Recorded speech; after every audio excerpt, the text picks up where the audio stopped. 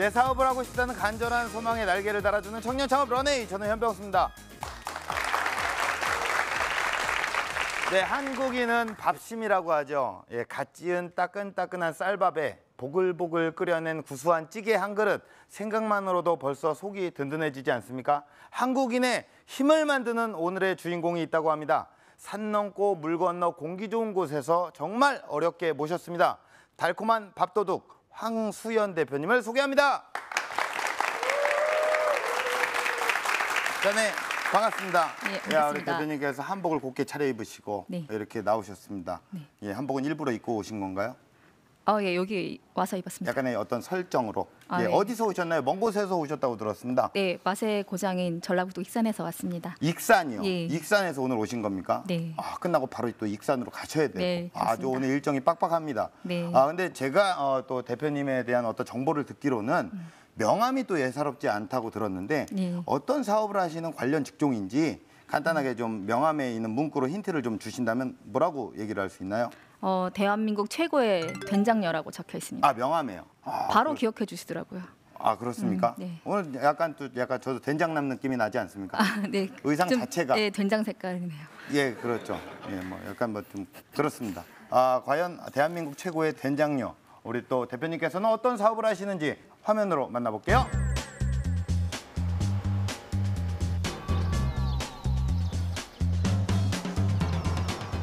끝없이 늘어선 수많은 장독대.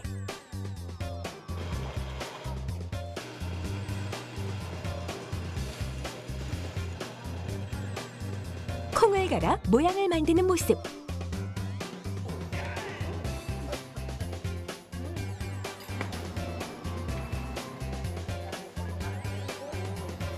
밥을 먹으며 회의를 하는 사람들까지 이곳의 정체가 지금 공개됩니다. 보는 이들의 눈길 사로잡는 대규모 장독대의 행렬. 맛의 고장 익산에서 만난 오늘의 주인공은 네, 안녕하세요. 네, 안녕하세요. 저는 전통과 건강을 지키고 있는 진짜 된장녀 황수연입니다.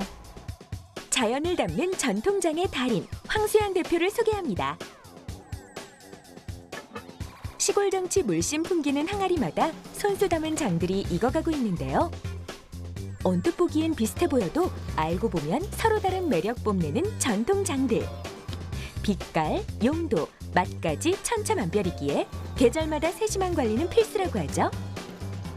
현재 900여 개의 항아리를 보유하고 있고요. 음, 보통 된장, 그리고 고추장, 간장이 이렇게 들어있습니다. 가슴이 탁 트이는 드넓은 농장. 푸르른 깻잎들이 생명력을 자랑하는데요. 싱그러운 자연 속에서 직접 작물을 재배하고 있습니다. 네, 유기농 재배는 화학 비료나 제초제나 이런 걸 주지 않고 농사를 지는 건데요. 어, 소비자들한테 어, 믿을 수 있고 안전한 먹거리를 제공하고 싶어서 이렇게 직접 짓고 있습니다. 여기선 자연의 내음 가득 머금은 전통장 제조 작업이 한창입니다. 손수 키운 유기농 콩들을 깨끗하게 세척하고 모락모락 김과 함께 푹 삶아내는데요. 이제 잘 삶아낸 콩들을 전통 방식으로 발효시킬 시간. 뜨끈뜨끈 볏짚 속에서 좋은 장으로 다시 태어나기 위한 긴 기다림이 시작되는데요. 저희 발효실이 황토벽으로 되어 있습니다. 그래서 어, 꼬리꼬리한 냄새는 없으면서 깊은 맛이 나는 게 특징이고요. 발효 시에 사용하는 그런 볏짚을 어, 유기농 볏짚을 사용하고 있어서 더욱더 안전하고 네, 맛이 좋습니다. 오랜 숙성을 마치면 마침내 고소한 풍미 살아있는 시골 청국장 제조 완료. 어때요? 정말 구수해 보이죠? 회의 풍경 역시 남다른데요. 청국장 만들어봤는데 다 같이 한번 좀 먹어보면서 평가를 해볼까요? 정성 가득 전통장들로 보다 건강한 식탁을 만들기 위한 노력. 최근에는 젊은 층을 겨냥한 신메뉴 개발에도 박차를 가하고 있습니다. 지난번보다 맛 많이 좋아진 것 같아요. 네. 신제품 출시 전에 이렇게 직접 직원들이 시식을 함으로써 부족한 점이나 이런 부분들을 반영을 하고 그렇게 해서 좋은 제품을 만들고 있습니다. 엄마의 마음으로 만드는 녹색 도전. 황수연 대표의 또 다른 도전이 더욱 기대되는데요. 국내에서 온라인을 위주로 판매를 하고 있는데요. 좀 더 오프라인 쪽에도 판매, 판매처를 더 늘리고 싶고요. 좀 더 나아가서 어, 해외에 저희 정말 저- 좋은 전통식품을 널리 알리고 싶습니다. 네, 영상 잘 봤습니다. 바로 전통장을 만드는 사업을 하시고 계시고, 네. 예, 사업을 시작하신 지는 얼마나 되셨나요?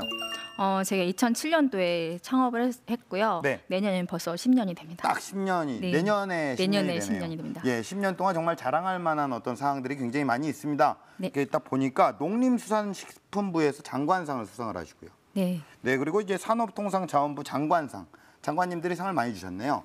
예, 네. 그리고 익산시장 모범 여성 경제인상까지 야 한마디로 뭐 전통장의 달인이라고 볼 수가 있겠는데 네. 그이 전통장 같은 경우에는 아, 아마도 이게 부모님께서 아마 하시던 사업을 물려받았을지 않을까 이런 생각도 좀 듭니다. 왜냐하면 또 이렇게 젊은 여성분이 아. 네. 장을 담그는 사업을 한다라는 거는 또 이렇게 조금 이렇게 생각이 좀 안 들거든요. 음. 네. 어떻습니까? 어, 물려받은 건 아니고요. 네네네. 어머니가 만드신 된장을 제가 판매하기 시작하면서 시작한 사업입니다. 아 어머니께서 장을 워낙 잘 담그셨는데 예. 이거를 팔아보면 어떨까 예. 사업적으로 생각을 예. 하셨군요.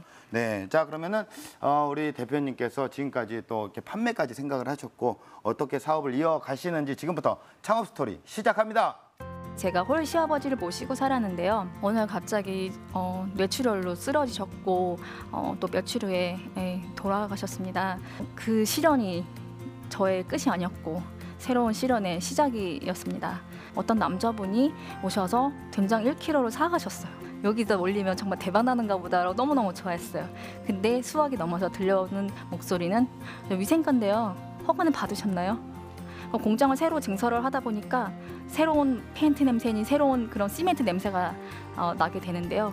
저는 그게 그렇게 큰 영향을 미치리라고는 생각을 못했거든요.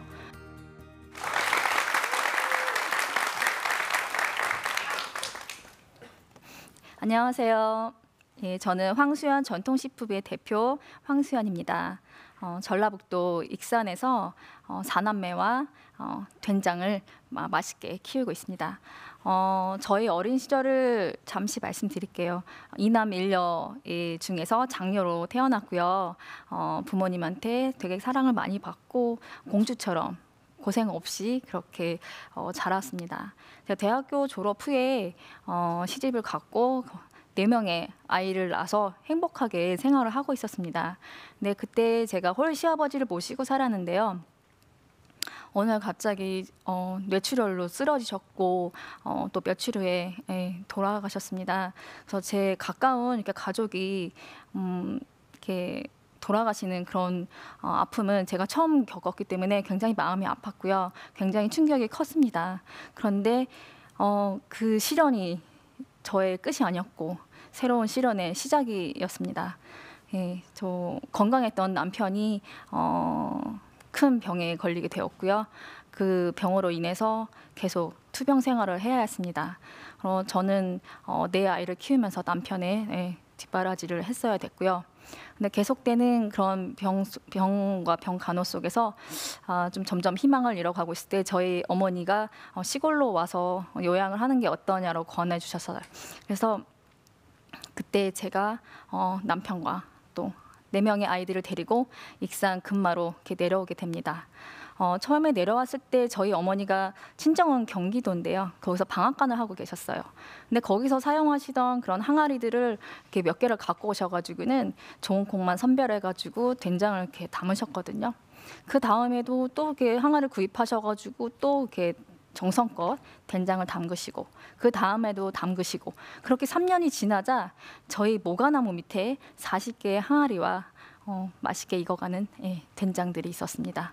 아픈 남편과 또 내 아이들을 생각하며 제가 뭔가 어, 뭔가를 해서 돈을 벌어야겠다는 어, 생각이 들었습니다.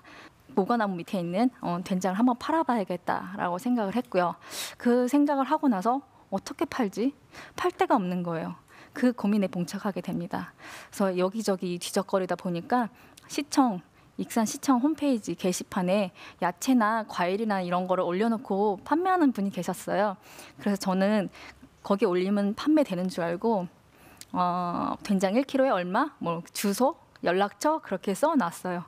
어, 정말 전화가 왔고 어떤 남자분이 오셔서 된장 1kg를 사가셨어요. 굉장히 신기했고 저희 첫 손님이었거든요. 어, 되게 희한하게 이렇게 이렇게도 팔리네라고 했고 근데 그 다음 날 또 전화가 왔어요. 그래서 어 거기 된장 파, 파나요? 그러시는 거예요. 그래서 저는 어머 이거 너무 괜찮다. 여기다 올리면 정말 대박 나는가 보다라고 너무너무 좋아했어요. 근데 수학이 넘어서 들려오는 목소리는 위생관인데요. 허가는 받으셨나요? 라고 물어보시는 거예요. 저는 정말 청청병력 같은 소리였고요. 어, 이- 이러다가 정말 어, 제가 불법으로 어떻게 걸려 들어가는 거 아니야라는 생각을 했고 어, 고발 들어가니까 빨리 받- 허가를 내세요라고 예, 어, 그분이 말씀하셨습니다. 그래서 저는 저희 집 옆에 조그마한 창고가 있었는데 그걸 개조를 해가지고 바로 이렇게 허가를 받았습니다. 그렇게 해서 제가 창업을 한 게 된게 2007년 4월의 일입니다.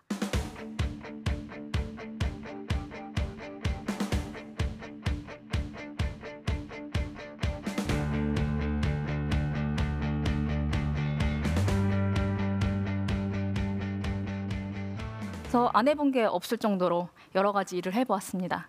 어, 아이들을 데리고 저희 아이 막내가 유, 어, 유모차 타고 다니고 있었습니다. 그래서 공원에 가서 유모차 위에 된장 박스 올려놓고 우리 아이들 쭉 세워놓고 여기다가 상호 이렇게 띠 만들어서 세워놓고 지나가는 분들한테 시식도 하면서 그렇게 된장을 팔았었는데요. 지금 하라 그러면 못할 것 같습니다. 예, 그렇게도 해보고 재래시 시장에 재래 시장에 가서도 시식도 해보면서 이렇게 판매를 하려고 하는데 거의 팔지를 못했어요. 근데 그 할머니들이나 아주머니들이 많으셨는데 드시고는 어 맛있네라고 하시는데 아 집에서 다 담가 먹지라고 하시는 거예요. 그때만 해도 저희 익산 좀 시골이었잖아요. 거의 집에서 담가 먹는 시대였습니다. 그러고 있었는데 어, 제가 알고 지내던 지인이 저보고 한번 옥션에서 팔아보지 그래라는 권유를 했어요. 지금도 굉장히 큰 시장이지만 그때 막 뜨고 있던 시장이었고 된장이 예, 그때 막 판매되고 있을 때였습니다. 근데 제가 주부로 생활 전업주부였기 때문에 알고 있는 지식이나 뭐 사진 편집 기술이나 이런 거를 이런 게 없었어요. 그래서 열심히 공부를 하고 또 서울에 와서 판매자 교육도 받고 하면서 몇 개월간의 준비 기간을 거칩니다. 그리고 강의 시간에 들었던 강사님 말씀 그대로 와서 실, 실천을 했고요. 일주일이 지나니까 첫 손님이 왔습니다. 그래서 그때 감동은 지금도 잊을 수가 없습니다. 그래서 그 첫 손님이 다녀간 후 또 며칠 뜸해요.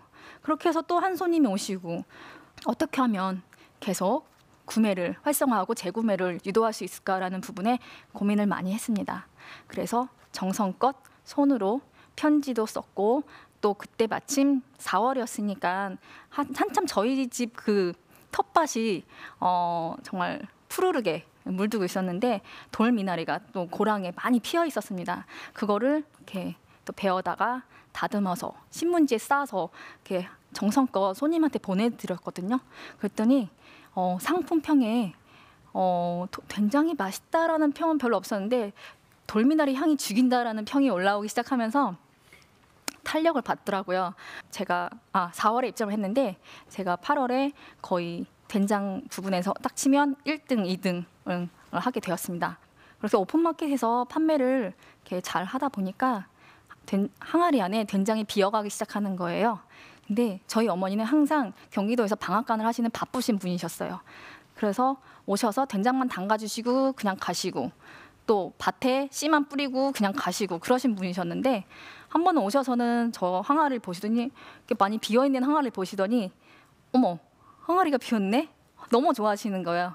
그래서 전 그걸로 만족하고 있었는데 어머니는 그게 다가 아니셨어요. 항아리를 계속 사들이시는 거예요. 콩도 어마어마하게 사셨어요. 그 해에. 그래서 결국은 40개의 항아리가 200개 항아리가 됩니다.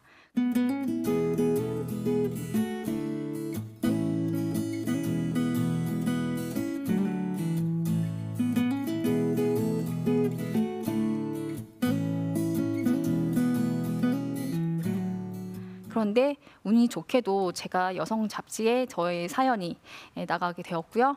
어, 그 기사를 보고 어, 인간극장 PD 분께서 어, 섭외를 하셨고요, 저를.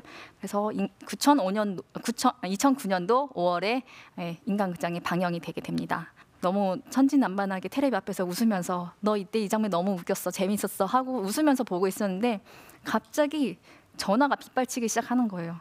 핸드폰 집 전화 뭐 집으로 찾아오시는 분들 막 정신이 하나도 없이 난리가 난 거예요. 근데 제가 대응할 수 있는 그런 준비를 하나도 해놓지 않은 상태에서 그, 그 난리를 겪게 됩니다. 동네 친구한테 전화해서 난리 났어. 와서 좀 도와줘. 전화 좀 받아줘. 그렇게 하고 또 제가 친정집에 전화를 했습니다. 엄마, 큰일 났어. 빨리 와줘. 라고 했는데 그, 그 한마디에 어머니 아버지가 짐을 싸들고 그날로 내려오셨고요. 지금까지 올라가시지 못하고 가- 같이 생활하고 있습니다. 인간극장 때 그 200개의 항아리 고민은 싹 다 날라갔어요. 거의 다 매진이 되었었거든요. 그렇게 하면서 제가 겪은 어, 네 가지의 이야기가 있습니다. 인간극장 방영 후에 어떻게 보면 위기라고도 할 수 있습니다. 생산량이 많아지다 보니까 저 제조 시설이 좀 많이 필요했어요.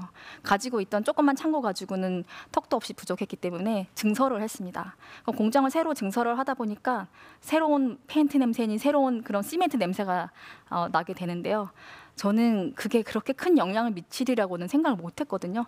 그러고 나서 한 제가 한 2년 동안 된장 맛없다고 손님들한테 욕을 엄청 많이 얻어먹었습니다. 된장 맛이 왜 그래? 옛날 그 맛이 안 나? 라는 말씀 많이 하셨어요. 그래서 저희 어머니랑 저랑 굉장히 많은 고민했습니다. 왜 된장 맛이 변했을까? 떨어졌을까? 왜 맛이 없지? 라는 고민을 엄청 많이 했고요. 전문가들한테 많이 상의도 하고 또 나름대로 많이 분석도 한 결과 처음에 만들었던 그 초가집에 그 맛있는 균이 매주를 맨 맛있게 만들었다는 걸 알게 되었어요. 그래서 환경이 변화 변화한 그곳에 옛날에 그 먼지들을 이렇게 가- 골고루 갖다 뿌리, 뿌리게 되면서 세월이 지나면서 점점 된장은 옛날 맛을 찾아가게 되었고요. 지금은 된장도 맛있고 또 품질도 많이 안정이 되었습니다.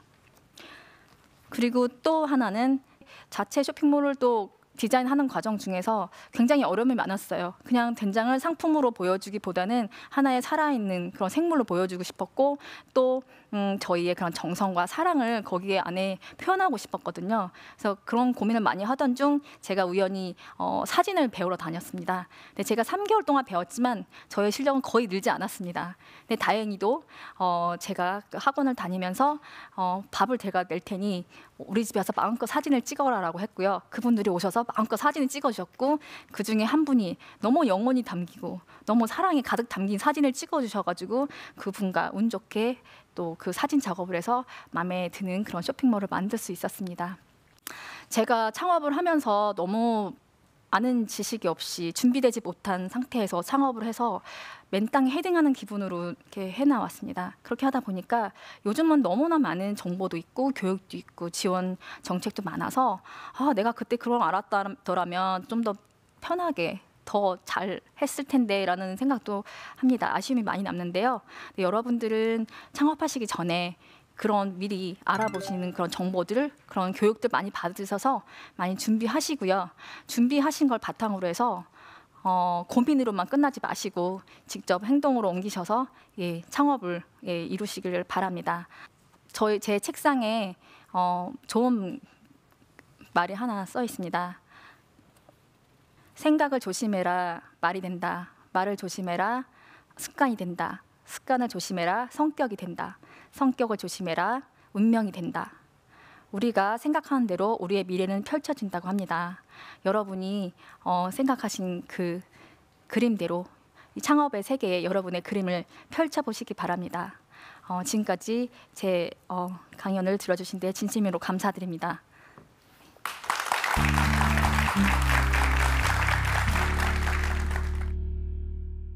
네, 강연 잘 들었습니다. 우리 대표님께서 아 정말 아이 넷을 키우세요. 네. 어, 애가 넷인데도 불구하고 갑자기 이렇게 판매를 인생의 어떤 터닝 포인트 아닙니까 그때? 네, 그렇죠. 자 그러면 그렇게 오픈마켓에서 판매를 그래도 1등까지 다 찍으셨잖아요. 네. 어딜 가더라도 네. 좀 잘할 수 있는 노하우가 있나요? 소비자들이 많이 보는, 본- 보시는 부분들이 네. 상품평, 댓글 이런 예, 부분이잖아요. 그런 거 예민하죠. 예, 그 네. 부분을 잘 나오게 하기 위해서 어떻게 해야 되는가 그 부분을 중점적으로 사람을 쓰셨나요? 아니요 전혀 그러지 않았습니다. 어, 그럼요. 제가 혼자 다 아 근데 뭐 소비자들이 만족하시면 알아서 예. 댓글 잘 달아주시잖아요. 예, 예, 예. 물론 적립금도 약간 있긴 하지만. 네네네. 예. 창업을 전혀, 전혀 하지도 않고 아이 넷을 키우고 있는 주부에다가 네. 아무래도 경력이 단절됐을 것 같은데 공장까지 운영을 하시고 그렇죠. 참 10년 만에 대단한 성과다라고 볼 수가 있습니다. 우리 그 경력이 단절된 주부 전업주부님들이 굉장히 많으시거든요. 네. 그런 분들을 위해서 좀 용기 있는 도전을 하신 선배로서 네. 어떤 얘기를 꼭 해주고 싶으신가요? 여자는 약하지만 어머니는 강하다고 했습니다. 어, 제가 정말 자는 아이들 네 명의 아이들 얼굴을 보면서 힘내야지. 내가 여기서 포기하면 안 되지 이런 생각을 해서 네. 지금까지 해 나왔는데요. 어, 정말 주부님들이 사업을 하- 만약에 일을 하시거나 사업을 하면 육아도 해야 되고 어? 가사도 해야 되고 굉장히 할 일이 많습니다. 네. 하지만 어, 어머니의 힘은 강하다는 걸 믿으시고 포기하지 마시고 끝까지 예 돌진하시기 바랍니다. 네. 자 그렇다면 우리 현장의 소리를 좀 들어볼게요. 우리 어, 방청객분 중에 좀 뭐 질문이 있다 하시면 예, 질문을 해주시면 되겠습니다. 혹시 모든 메뉴를 직접 개발하시고 또 신메뉴를 개발하실 때 어, 어떤 부분을 가장 중점적으로 생각하시는지 좀 궁금해서 좀 문의를 드리고 싶습니다. 어떻게 좀 프리미엄을 선호하는 기- 건강 기능성 쪽인 걸 선호하는 분들이 많이 늘어나고 계셔서 네. 어, 몸에 좋은 재료를 좀 첨가해서 만드는 방향으로 하고 있고요. 네. 거기에 더 나아가서 요즘에는 1인 가구도 많이 증가하고 있고 또 많이 바쁘시잖아요. 주부분들이 좋은 거 해 드시고 싶지만 맞벌이 하시는 분이 굉장히 많으셔서 네. 직접 이렇게 요리를 해 드시는 게 많이 번거로우시고 예. 힘드시더라고요. 저도 그렇고요. 네. 예, 그래서 저는 항상 제품 개발할 때 저를 중심으로 예, 네. 그렇게 하는 경향도 있습니다. 그래서 이렇게 간편하게 물만 음. 부어서 예, 드실 수 있게 간편 네. 제품을 예, 청, 첨가물 전혀 안 넣고 어, 예, 그렇게 개발을 예, 하고 예, 계시는군요. 하고 있습니다. 자 우리 대표님께 공식 질문입니다. 네. 대표님에게 전통 장은 무엇일까요?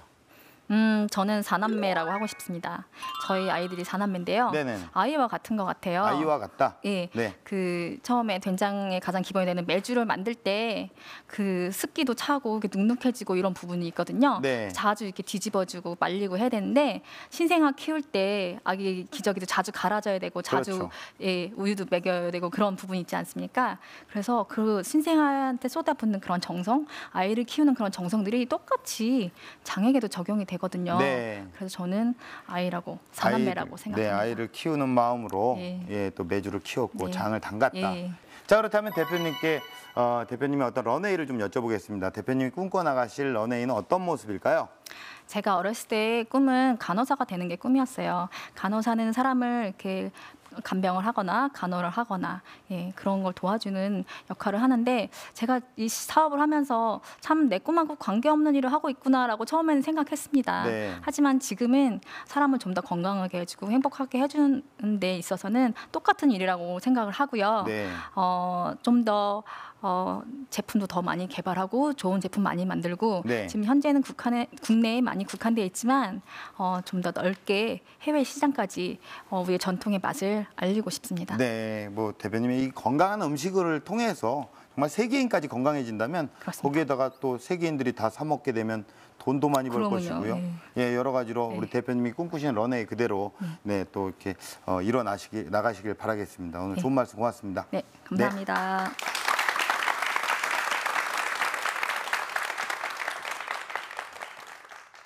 네, 우리의 생각이 곧 우리의 미래를 만듭니다. 꿈꾸는 걸 두려워하지 마십시오. 그리고 창업이라는 이 넓은 세계 속에서 여러분들의 꿈을 마음껏 펼쳐보시기 바라겠습니다. 청년 창업 런웨이였습니다. 고맙습니다.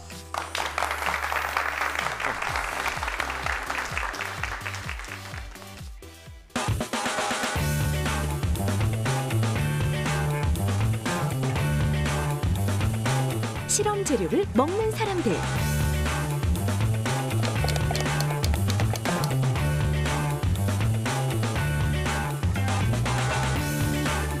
액체를 틀에 붓는 모습.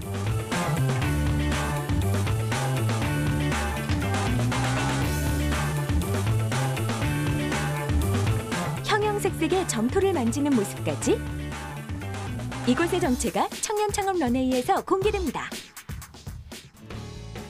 많은 분들 앞에서 이렇게 또 제 경험담 얘기하는 부분이 많이 떨리기도 하고 예, 부담도 많이 됐지만 이 경- 경험을 또 바탕으로 해서 또 저도 주변에 또 이런 창업을 많이 권해드릴 수 있고 그런 창업 전도사가 어, 되는 것도 괜찮겠다라는 생각이 들었습니다. 지금은 새로운 장을 펼칠 시간. 여러분의 긍정의 에너지를 발휘하세요.